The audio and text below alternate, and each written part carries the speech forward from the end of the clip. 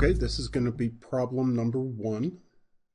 Take a minute and read the, the problem, which is the large white block up in the upper left-hand corner. Pause the video and come back when you're done.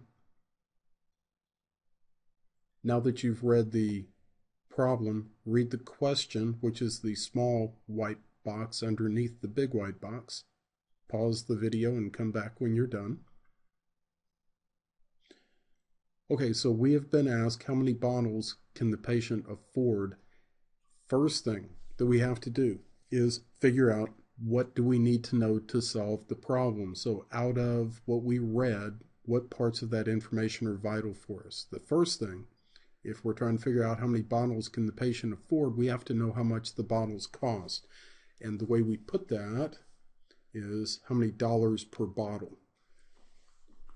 But that just means how much does a bottle cost? How many dollars per bottle?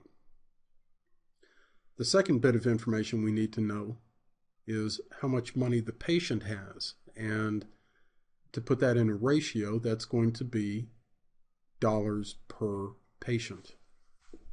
Now with just these bits of information, we can solve the problem. So we'll come down here.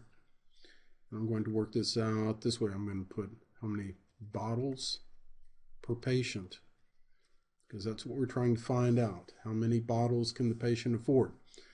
We know we'll put bottle over here. Go up here. What information do we have? We've got dollars per bottle. You know, one bottle is um, how much? It's ten dollars.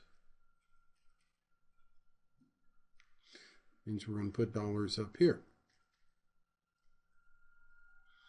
What do we have up here with dollars? We already used this, but we have one with patient here. So if we, so we have uh, $42 per patient, and that's all we have to do. We can now strike this out, this out, multiply 42 times one bottle and come up with 42 bottles. Patient times 10, 42 bottles per 10 patients. We divide that out, we get 4.2 bottles, but you can't give someone 4.2 bottles. How many bottles can the patient afford? Our answer is going to be four bottles. If you have any questions, please feel free to come up and ask me.